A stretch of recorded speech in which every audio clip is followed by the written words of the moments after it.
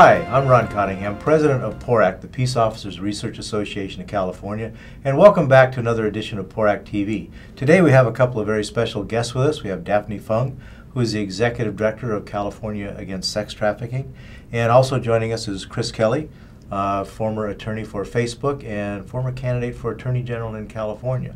So today we want to talk about this initiative and get you, give you a little bit better information about what's going on, what you can do to support this, and the importance of, of having an initiative that will enable us to combat sex crimes and sex trafficking much better in the state of California. Um, Daphne, go ahead and tell us a little bit about the initiative and, and what it does. Sure. So the initiative is called Californians Against Sexual Exploitation, or the CASE Act. And what it does is it's putting heavier penalties and fines on uh, human traffickers and put more protection in place for our uh, for people against online predators. And there, there are a couple of provisions in their initiative, and the first thing is, you know, like I said, increasing penalties and increasing fines, and the fines will go to help victim recover. And uh, in addition to that, it will help. Uh, it would also mandate law enforcement training, as well as put sex traffickers on the sex uh, offender registration. And uh, it would also remove the need to show force when minors are being trafficked for sex. And this is a huge deal because right now in the state of California, we still have to prove that a minor is being forced into being sold. And uh, it's, it's very misaligned with the federal standard of what uh, sex trafficking is. And also, in addition to that, it would also require that all sex offenders register as uh, register their online account. And this is something that Chris has worked on a lot. And it's uh, you know, as you know, the in internet has become a, a an, an avenue for many of these offenses today. I'll let Chris talk a little bit more about that. Yeah, in particular, the the enhancement of the reporting requirements, bringing Megan's Law into the digital age, is one of the things that I think the act will, you know, do that, that makes a big difference. I was able to work on this with uh, Andrew Cuomo when he was Attorney General of New York to get it through the New York legislature and implemented um, uh, having all sex offenders report their internet accounts. And it's resulted in the removal of more than 25,000 convicted New York sex offenders from social networks. Um, it's been a very, very positive step forward in internet safety. Um, it was one of the, the things that, that when I was still at Facebook, I proposed to the National Association of Attorneys General in 2007. Um, we were able to get it implemented there. We haven't been able to get it implemented yet here in California, but it, it'll be a major step forward.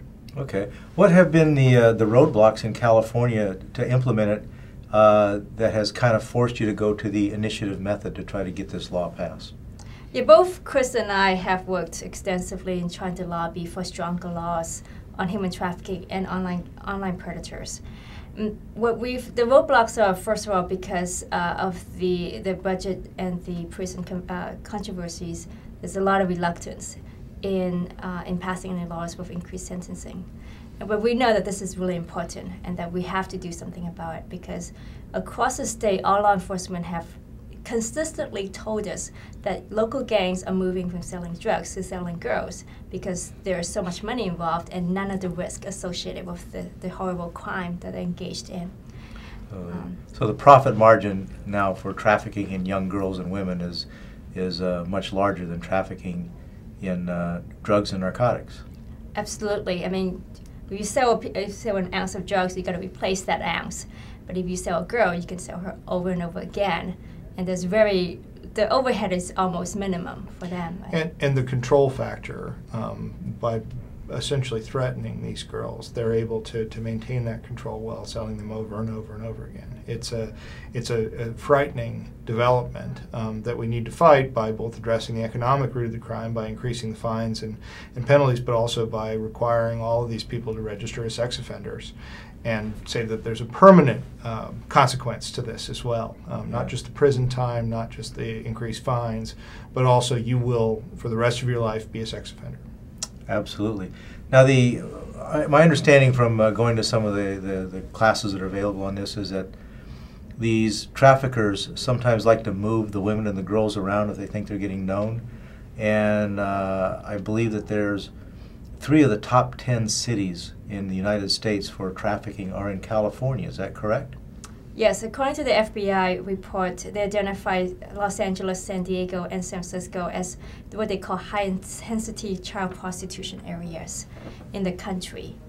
And it's definitely very appalling that in the progressive state like California, we're allowing this to happen and to be flourishing. That's why we really have to take a strong stand against this. And you know, one of the most, one of the major, major uh, uh, benefit from going through the initiative process is also the awareness factor, because you know we, we have we still have a lack of awareness, and that's our biggest challenge in this campaign is that there's a, such a lack of awareness that this can happen here, that there are actually children being sold for sex in our country, in our state, and uh, to be able to have the initiative bring that awareness is so important. We, we've already given the chance for hundreds of thousands of Californians to sign their name to the petitions and to stand with the victims of sex trafficking. Um, we want that opportunity, and we'll get that opportunity given how the signature process is going, to allow millions of Californians to stand with these victims uh, come November. That'd be fantastic because uh, I know, I mean, from my career in law enforcement, I, have seen a couple of sides of this, and you're the aspect of training in this I think is very important. And you talk about awareness, and what is uh, should be noted and noted to the viewers is we have a lack of awareness in law enforcement itself, where I know from years ago, and even currently, sometimes we see a young juvenile girl on the streets after hours uh, in a place of, of ill repute and we believe that they are a runaway and we believe that they are a prostitute. And we basically make them a victim no i'm sorry we basically make them a suspect and we're arresting them when actually what we find out later is they have been victimized horrendously by these uh, by these, these pimps and, and panderers that, that that do nothing but use them for their own purposes so so that's a very good aspect of this this whole thing is, is getting better training and awareness uh, Absolutely. Are there the, the signature uh, petitions are out on the street? Absolutely. Yes. Okay, and they're throughout California.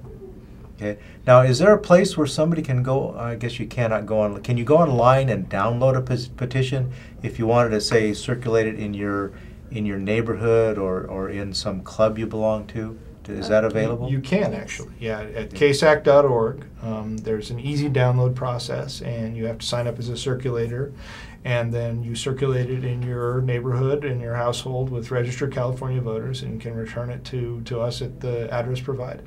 Okay, so Case Act is C A S E Act dot org, org, all one word. Yes. Okay. Absolutely. Well, very good. Do that. I know PORAC is a supporter and a sponsor of this initiative. We're trying to get all our affiliate organizations to support this initiative also, and that's what's going to going to take to get it basically uh, across the finish line and, and, have new laws in California. Absolutely. Thank you. We really appreciate the support. We're excited to be to be working with you on this important oh, initiative. We're very happy to be partners in this.